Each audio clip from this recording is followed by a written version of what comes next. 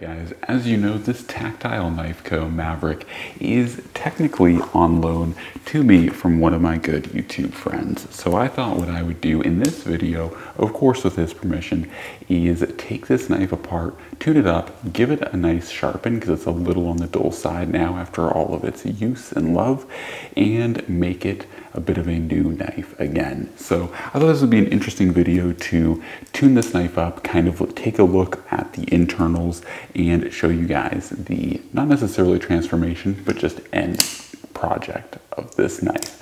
So without any further ado, let's start by doing what we do best here and take this knife apart.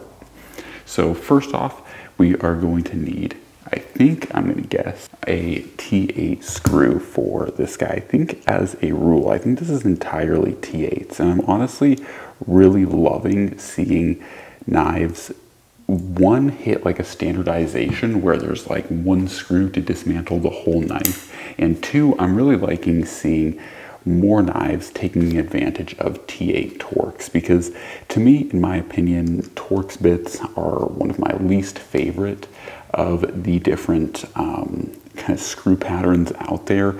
And I realize that they're more secure, less, you know, like, um, I guess, idiot proof because people can't, just random people can't take them apart, so to speak.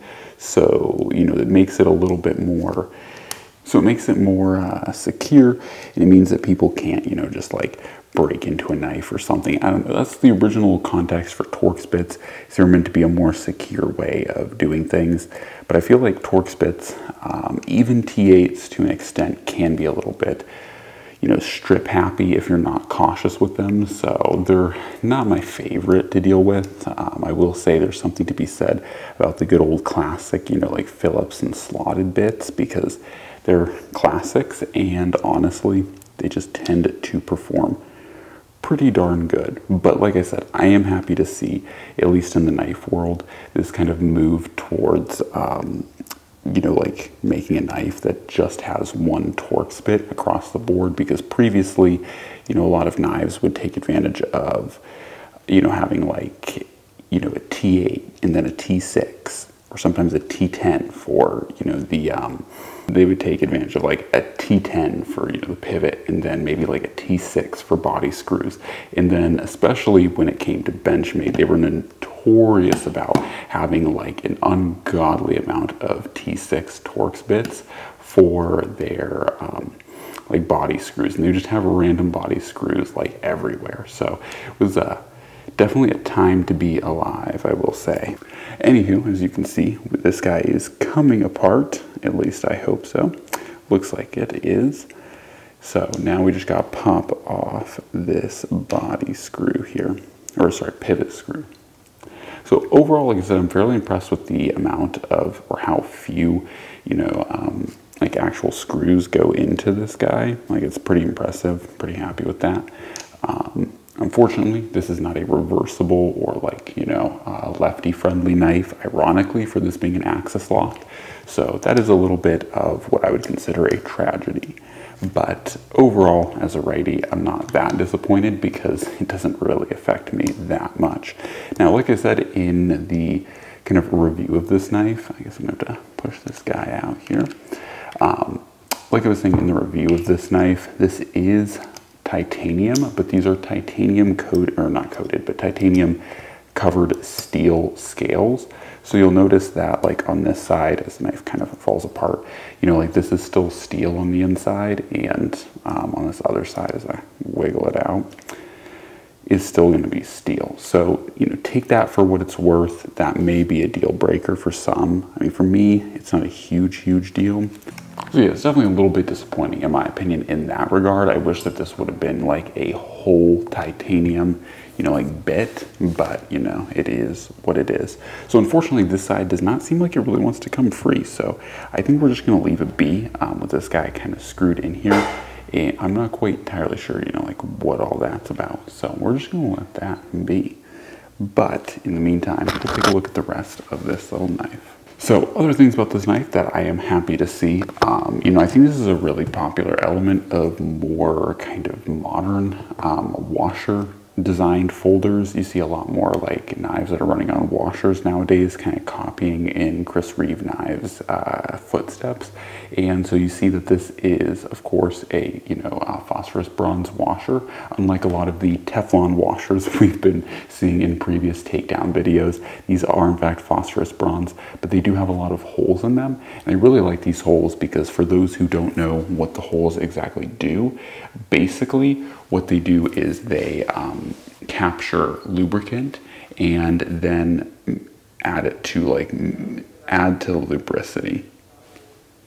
All right, so like I was saying, you know, they definitely took a step or a, they definitely took a note out of the Chris Reeve Knives book by making these have holes in them for retention of extra lubrication. So that will definitely come in handy. Now, as far as everything else goes, it's pretty conventional. You know, it's just a crossbar lock. So this is what you'd expect to see out of the tang of the blade. Now, one thing I kind of wish um, about this. I do wish the thumb studs were removable, but overall, we will see how hard this thing is to sharpen. Typically, when it comes to the wicked edge, I tend to, uh, when I sharpen them, break the knife down just to its blade, and so that way I can clamp, you know, like right around here or here. It gives me a little bit better leverage for adjusting around the thumb studs of a knife. So we will see how that goes. But yeah, I'm gonna give this guy a quick tune up because it's not horribly dull, but it's definitely um, seen better days. I'm also curious to see how well this Magna Cut sharpens up. So yeah, that'll be the next step. Alright guys, so now for some final thoughts, wrapping it up on the Maverick by Tactile Knife Co. As you guys can see here, still a little bit sticky just because it just got reassembled, but um, yeah, it overall went together and uh, went the other end, got taken apart fairly okay. It's a little bit of a weird knife, I'm not gonna lie. The few things, at least from the disassembly side of things that I disliked about this knife are this pocket clip is a very, very weird overbuilt or overthought of uh, clip. I really dislike this clip. Um, as you guys can see, I couldn't really remove this side uh, or this particular pocket clip from the thing. So I don't really know how exactly these like barrel spacers are supposed to work and how it all screws together, but it is very weird and I am not a huge fan of this uh, pocket clip system. And I mean, for me, in my opinion, when it comes to pocket knives, like I'm a really big fan of, at least when it comes to pocket clips, like keep it stupid simple. Something like this Civivi, you know, pocket clip is nothing fancy. It's not really, you know, super special, but it completely works and it's very easy to assemble and disassemble. So I would say ditch this pocket clip as soon as possible for Tactile Knife Co. Obviously for the owners, they can't really do that. But uh, yeah, I would say ditch that pocket clip. The other thing I kind of disliked is that these little blue bits of anodized steel, titanium, whatever they are, um, Tactile doesn't really say what they are, are a bit of a pain in the butt to reassemble, especially because you want them to, you know, go with the flow. So um, it's very hard to show on this knife, but as you can see, it all has this milled pattern. And so you want these, you know, blue bits to go with that mill work.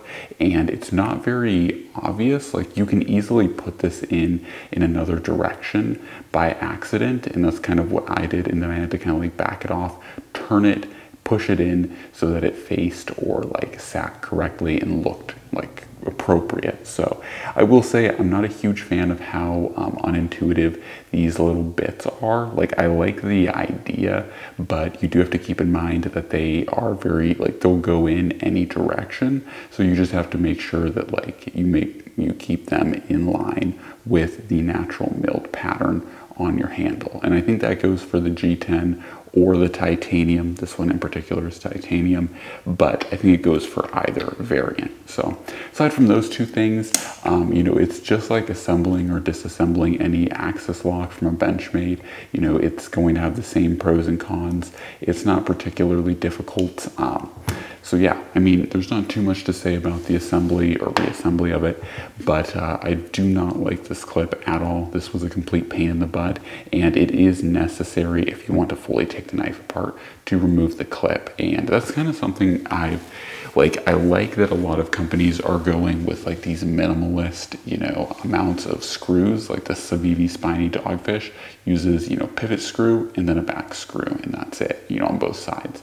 And so I like that. But what I dislike is, ironically, also on this same Civivi, the uh, pocket clip is also an integral screw, and I kind of dislike that because one, if you ever want to not have a pocket clip on your knife, um, having the pocket clip be an integral screw basically um, messes that whole thing up. Like you can't not have the pocket clip because one of those pocket clip screws is integral to the knife's function. So I dislike that part about it. I also dislike the fact that not every time do I want to fully remove my pocket clip if I'm just trying to field strip a knife very quickly. So while I like the fact that these are both minimalist designs, once again you can see very few screws on the Tactile Knife Co. and on the Spiny Dogfish, but you know, very minimalist designs, but at the same time too dislike that you have to remove the pocket clip to um, get that like to get the knife apart. So not a fan of that, but anyways guys, hopefully enjoyed the video. As always, God bless and I'm out.